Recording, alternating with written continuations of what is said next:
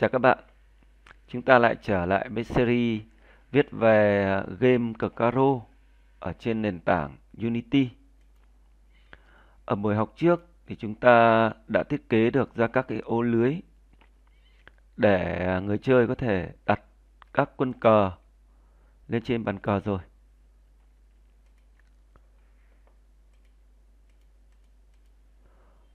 Ở buổi học này thì chúng mình sẽ cùng nhau viết đầy đủ uh, một game có thể dành cho hai người chơi. Trước khi tôi tạo ờ, clip này thì tôi đã sang sửa lại một chút ở các câu lệnh. À, ta có thể sử dụng được các cái nút ờ, uh, chơi lại, à, nút quay trở lại với cả màn hình menu.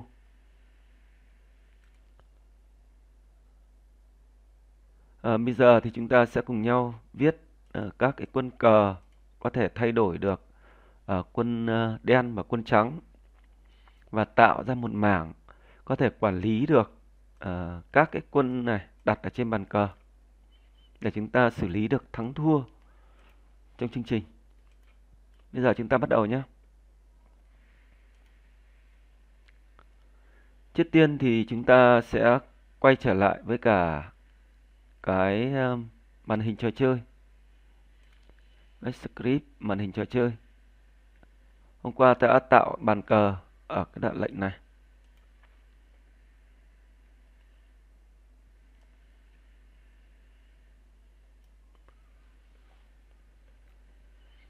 Hôm nay thì ờ, để chúng ta có thể uh, quản lý được các cái quân cờ được đặt ở trên bàn cờ thì chúng ta phải tạo ra một cái mảng ở cái mảng đó gọi là mảng bàn cờ. Ta sẽ viết nó ở trên này. Một cái mảng bàn cờ. Private uh, thuộc kiểu integer. Uh, mảng này là một mảng hai chiều. Cái mảng hai chiều bởi vì là chúng ta sẽ quản lý uh, các cái cột và dòng của cái quân cờ đó nó nằm ở tọa độ nào? Cái mảng này tên là mảng bàn cờ. Mảng bàn cờ. Mảng bàn cờ. À, ta xây dựng nó ở trên một cái mảng gồm có ờ, à, 19 dòng và 19 cột đúng không nhỉ? Bởi vì là bàn cờ chúng ta là có 10, 19 dòng và 19 cột. Nếu mà bạn viết ở cái dạng 15 nhân 15 chẳng hạn thì bạn sửa đổi ở đây đi nhé. Thế thì khi mà chúng ta tạo cái bàn cờ thì chúng ta khi tạo xong cái bàn cờ này thì chúng ta phải phải khai báo luôn cái mảng bàn cờ này ở đây để chúng ta biết được cái vị trí của quân cờ. Ta tạo nó ở đây. À, mảng bàn cờ. Mảng bàn cờ. Với cái cột là y. Cái dòng là g và các quân cờ được tạo ra lúc này đều mang giá trị bằng không.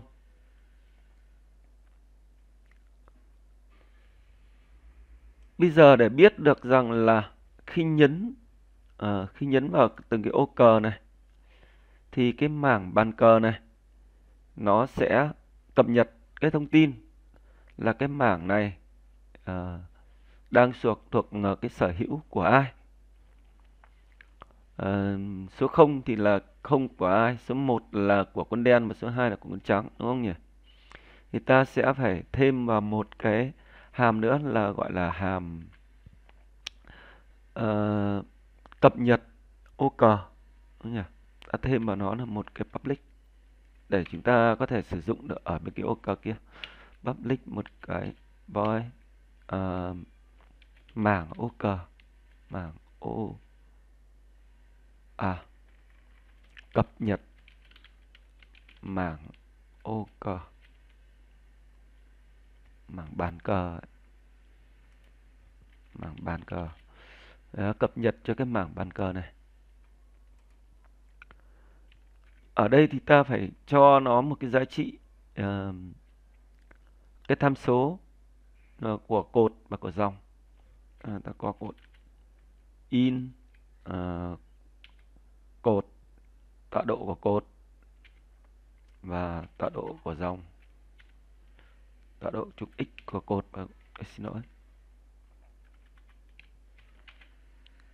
À ta còn thêm một cái nữa là um, cái này là thuộc sở hữu của ai đúng không nhỉ? Cái sở hữu là ta thuộc vào um, cái kiểu dữ liệu byte. Đây cái sở hữu sở hữu ta thuộc kiểu byte đúng không nhỉ? Của ai? Trong cái cập nhật bảng ô cờ này ta sẽ tìm xem là trong cái mảng bàn cờ này, nó ở ở đây.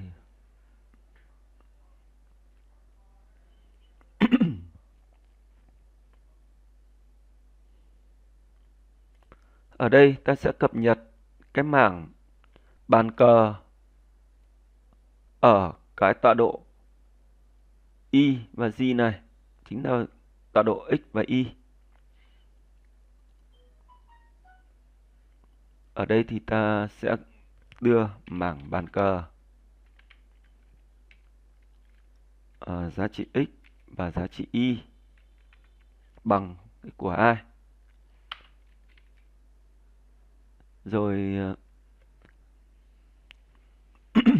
của ai. Sau đó là ta sẽ à, chuyển đổi cái trạng thái lượt đi. Nếu mà lượt đi lượt đi lúc này mà bằng không thì lượt đi sẽ thay đổi bằng một. Còn không thì uh, lượt đi sẽ bằng không. Thế bây giờ để cập nhật được cái này, biết là vị trí nó ở đâu, thì ta sẽ quay trở lại với ô cờ. Và lúc này ta sẽ biết đây là của ai, đúng không nhỉ? Ta biết của ai rồi, thì ta sẽ cập nhật cái mảng ô cờ vào. Lúc này là ta sẽ gọi đến cái màn hình trò chơi chấm cập nhật mảng bàn cờ và truyền vào cái tham số của nó. Uh, tham số y là cột số g là dòng.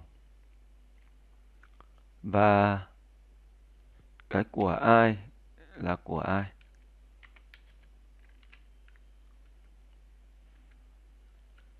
Rồi.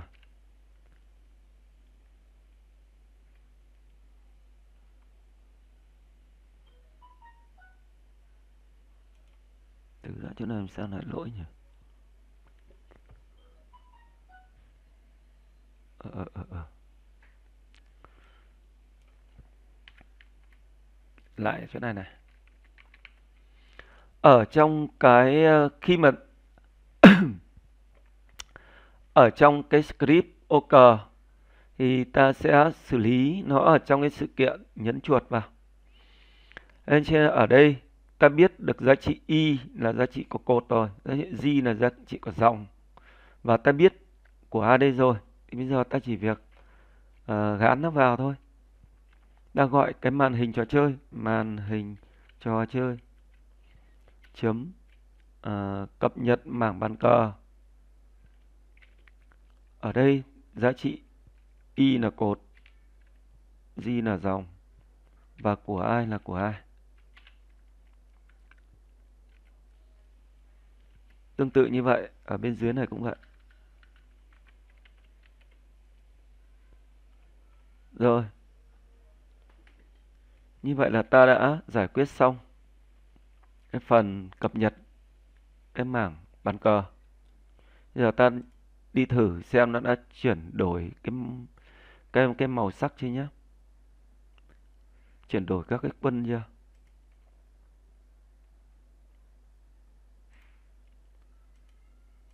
Đó, chuyển đổi rồi. Quân đen và quân trắng. À, rất là rõ. Nhưng mà lúc này nếu mà ta để 5 nước như này, nó vẫn chưa có một cái giá trị gì cả. Nghĩa là ta chưa xử lý cái hàm chiến thắng cho nó. Nhỉ? Như này là chúng ta đã chơi được hai người rồi. Hai người có thể chơi được với nhau. Nhưng mà chơi như này thì thực sự là chả khác gì chúng ta chả khác gì chúng ta chơi trên giấy cả. Nó không có trọng tài đúng không nhỉ? Chúng ta thắng thua chúng ta cũng không có trọng tài để cho ta biết là ta thắng hay thua. Thế bây giờ ta phải xử lý thắng thua cho nó.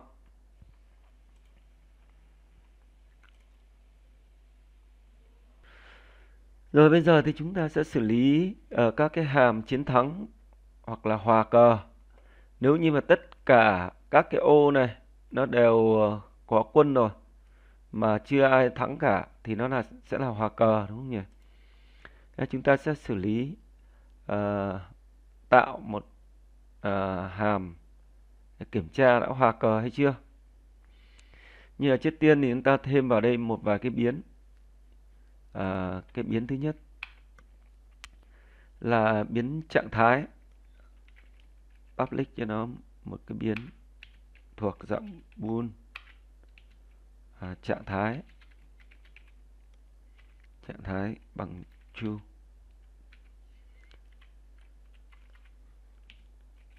à, khi à, khi trò chơi trò chơi kết thúc khi có người thắng hoặc đã hòa thì trạng thái sẽ bằng là phone. Rồi trạng thái nó để uh, xử lý được cái trạng thái này nữa thì chúng ta phải quay vào cái ô cờ này. Nó thêm vào đây một chút. Nếu như mà trạng thái à um, màn hình trò chơi chấm trạng thái mà nó bằng uh, chu. Nếu nó đang, trạng thái nó đang được chạy, thì chương trình nó mới cho phép đánh cờ. Còn không thì nếu không, thì nó sẽ return. Nó không cho phép làm gì hết.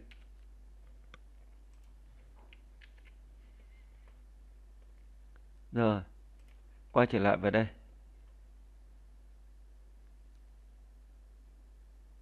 Lúc này ta phải xử lý uh, cái trạng thái. À còn một chút nữa. À, thêm một, một biến nữa. À, biến này. À, ta có thêm các cái private. Nó xử lý uh, các cái các cái tọa độ của cái ô cờ ở ô cờ nào vừa được đánh. Đấy. Ta sẽ lấy nó thuộc kiểu in là uh, ờ, cột hiện tại. Và ờ, dòng hiện tại.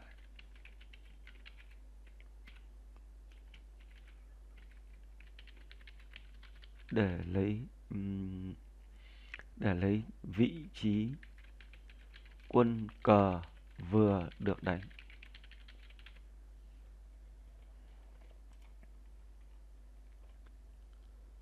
Cái vị trí đó ta lấy ở đây. Um, cột hiện tại bằng x dòng hiện tại bằng y.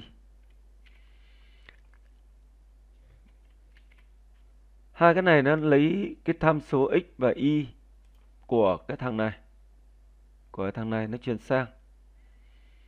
Đấy, thằng này là khi ta bấm vào thì nó đang ở tọa độ nào thì nó sẽ truyền về đây để cho cái cột và dòng hiện tại này nó nhận được.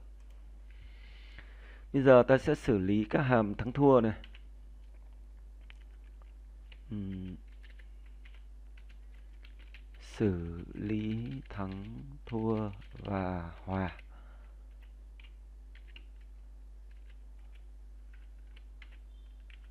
Nào, ta làm cái này để chúng ta dễ xử lý hơn.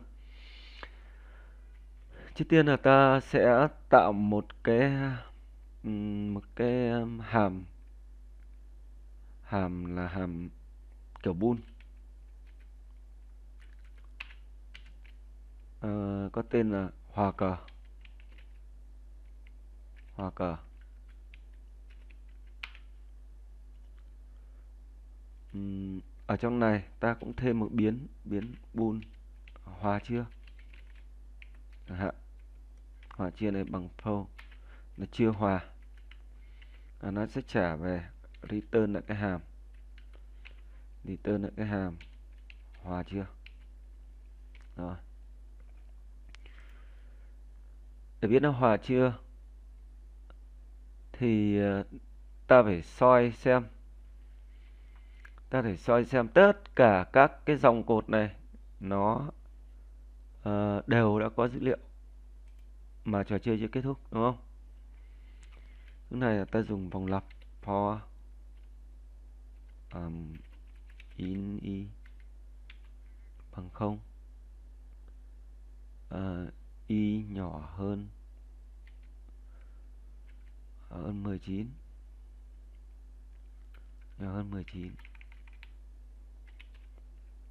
đó. Nghĩa là duyệt hết cột xong rồi duyệt xuống dòng.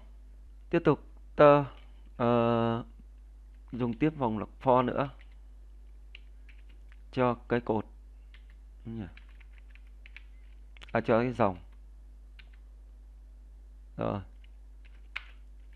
Ở đây à, nếu như mà cái mảng bàn cờ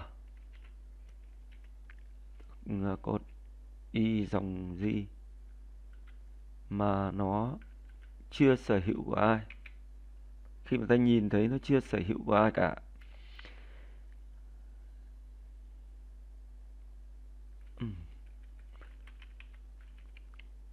Khi mà nó duyệt hết mà nó bắt gặp nó đang duyệt mà bắt gặp là uh, có một cái dòng mà nó chưa thuộc sở hữu của ai cả thì có nghĩa là bàn cờ này vẫn còn chỗ đánh thì ta sẽ bỏ qua không cho nó tiếp tục duyệt nữa. Vòng lặp không cần duyệt nữa là tháp vòng lặp luôn. Thế còn à, nếu như mà nó à, này đi.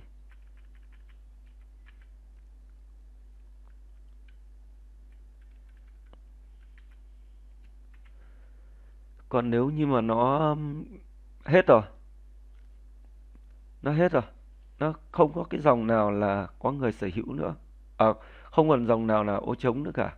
Thì lúc này nó sẽ báo về là hòa rồi. Hòa chưa bằng chu. Nó sẽ báo là hòa rồi. Rồi. Thế thì để gọi được cái này thì chúng ta nên có thêm một cái cái nữa là à, ta sẽ xử lý hai người chơi đi đúng không nhỉ? Private. Một cái sự kiện là hai người chơi.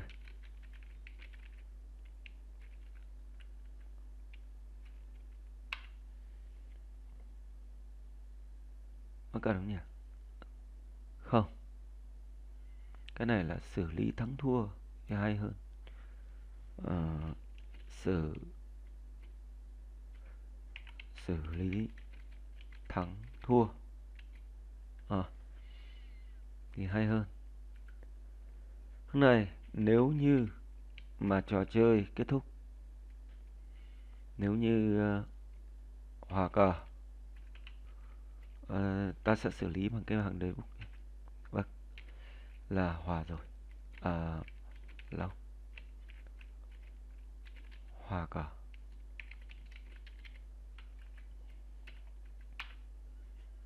Và lúc này trạng thái sẽ báo rằng là trạng thái lúc này nó sẽ bằng phone. Đúng nhỉ? Và ở trên này cũng vậy trên này ta cũng xử lý luôn à, đây là xử lý thắng thua. Nó xử lý thắng thua đây. Mỗi lần đánh quân thì nó sẽ kiểm tra xem nó đã hòa chưa hoặc là thắng chưa. Đúng không nhỉ? Thế tiếp tục thì ta viết thêm luôn các cái à, nó thắng thì nó cứ có 5 quân 5 quân liền nhau trên một dòng trên một cột hoặc là đường chéo thì nó là đều thắng đúng không nhỉ? Thế ta sẽ thêm vào là cái bôn. À, thắng theo chiều dọc.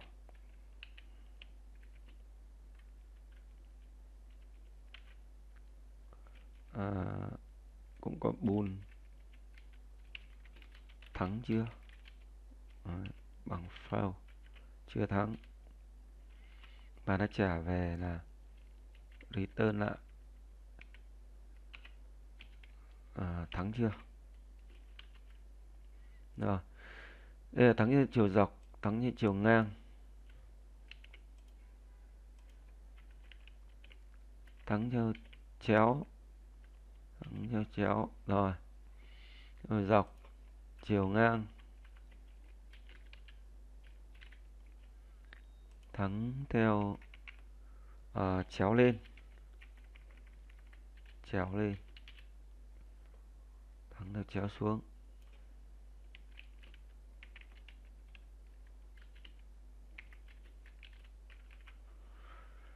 Thắng nhau chéo lên thắng nhau chéo xuống. Rồi ta xử lý luôn ở trên này đi cho nó liền một mạch.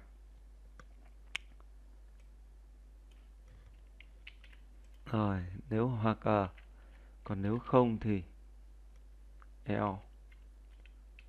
if.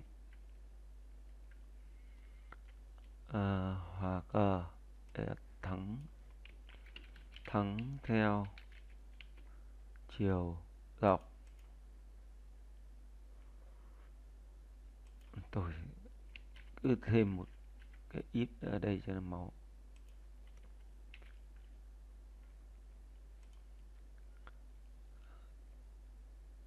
kèo tiếp thắng theo chiều ngang.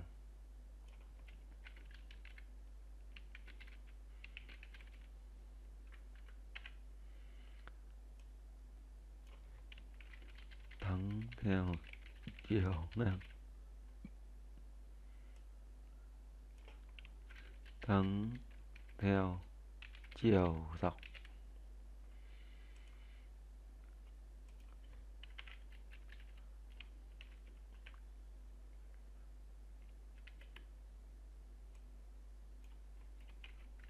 Thắng theo chéo lên. Thắng theo chéo lên.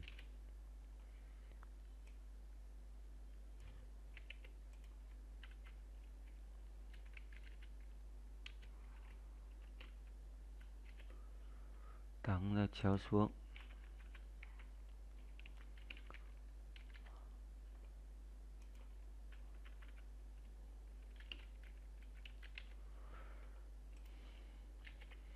Cái này thì ta cũng phải ờ, biết được rằng là quân nào đang ờ, thắng.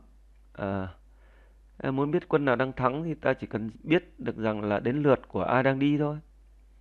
Đến lượt ai đi thì ta đưa vào. À, cái đấy thì tôi để sau nhé. Cái đấy các bạn có thể thêm vào. À, có thể nghiên cứu thêm vào. Và thứ nhì là tôi ở đây tôi dùng debug nhưng mà trong thực tế để viết cho nó đẹp hơn thì các bạn nên xử lý ở đây bằng uh, bằng các cái UI này à, UI text này chúng ta dám ở đây. À, chúng ta hiển thị các cái con chữ này lên trên này. Nên để tránh dày già thì mất thời gian tôi bỏ qua những cái bước đơn giản đó nhé. À, tiếp tục xuống như này xử lý cái theo chiều dọc. Thì ta biết rồi đấy à, chúng ta cứ đếm được là con 5 quân liền nhau thì là 5 quân cùng màu liền nhau thì là sẽ thắng. Nên ta nếu mà giả sử ta có đánh con cờ ở đây thì ta sẽ phải đếm ngược lên trên 5 phát xem là năm cái nút này nó có cùng nhau không giống nhau ở à, cùng một à, màu không. À, nếu mà đếm đủ hai hoặc là ba hoặc là bốn năm thì chúng ta sẽ à, tính là thắng hoặc là đếm xuống nếu đếm lên chưa đủ ta đếm xuống. Ê, cũng tương tự như bên sang trái và sang phải mà là chéo nhé chúng ta sẽ làm viết viết luôn. À, theo chiều dọc. Thì ờ, trước tiên thì ta sẽ um, phải kiểm tra xem là cái sở hữu uh, của ai đúng không nhỉ? Ta thêm một cái in um, uh, của ai đi? Của à thôi của ai đấy giống bên trên. Sở hữu đi. Nhá sở hữu.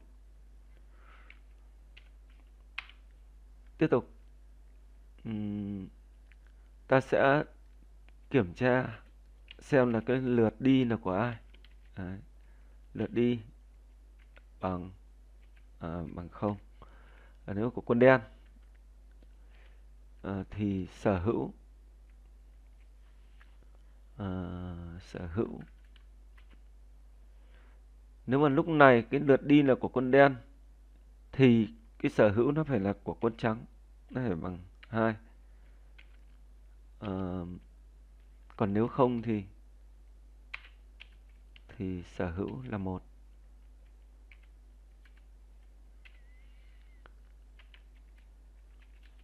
À, ta thêm vào cái, cái cái ta thêm một cái biến đếm. Đấy. đếm. Đếm thì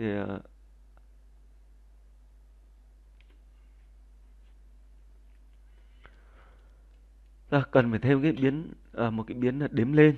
À, đếm lên. Như là đếm từ cái ờ, quân hiện tại đếm lên bên trên.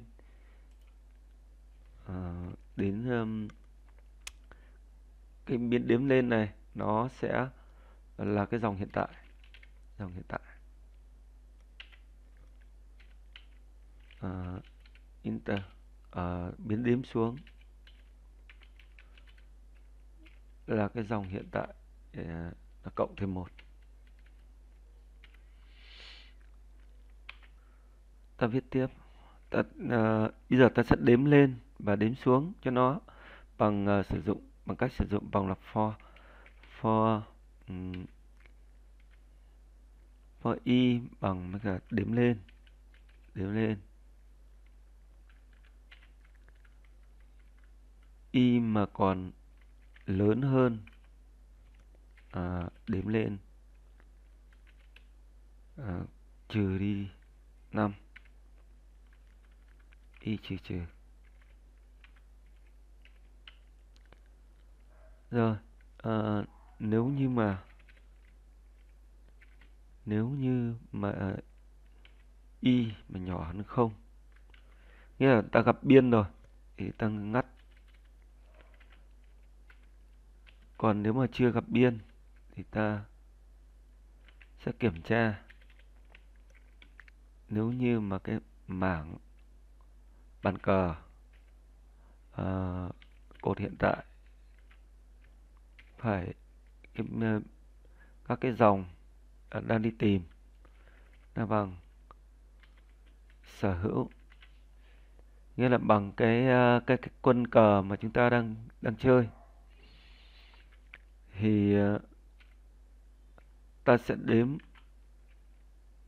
À, thì cái cái đếm cái biến đếm nó sẽ tăng lên một. Còn nếu mà không nếu mà nó nó gặp phải à, cái quân cờ à, do người khác đã sở hữu rồi thì ta ta bỏ qua. Break đi. Tương tự như vậy à, ta làm à, cho cái biến đếm xuống. Đếm xuống thì ta sử dụng à, đếm xuống cái này còn nhỏ hơn nghĩa là đếm ngược lại mà. Đếm xuống là đếm tăng lên nó còn nhỏ hơn. À, đếm xuống cộng với cả 4 à, ờ, cái này tăng lên. À, nếu mà y mà lớn hơn ở cái con số 18 như là cũng qua lề thì thôi bỏ qua. Còn nếu không thì nó vẫn ở đây ta nên chọn nó là gì đi. Là gì cho đỡ trùng. Đây là gì đây là gì thì cái đếm lại đếm tiếp. À, cuối cùng là ta sẽ kiểm tra nếu như mà cái đếm nó lớn hơn hoặc là bằng 5 à, ờ, thì à, à, thì các em à, thắng chưa? Thắng chưa? Nó sẽ bằng true rồi và ta sẽ trả lại cái hàm thắng chưa? Bây giờ ta sẽ uh, chạy thử xem thế nào nhé.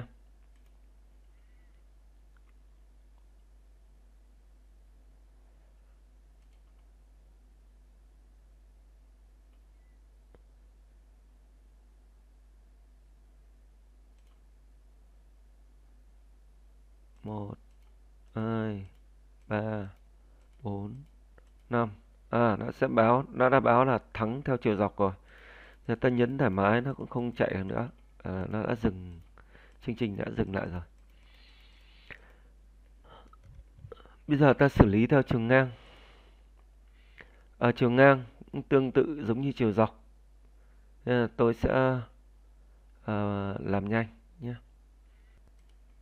Ở các cái cái à, kiểm tra thắng theo chiều ngang thắng theo chéo lên và thắng theo chéo xuống. Thì chúng ta đều viết uh, các câu lệnh ờ, tương tự giống nhau. Cho nên là tôi uh, copy và dán theo nhanh. Các bạn có thể uh, theo dõi uh, có thể tải cái file mẫu này ở trong phần mô tả của video nhé. Bây giờ chúng ta cùng nhau chạy thử chơi một ván cờ với hai người chơi.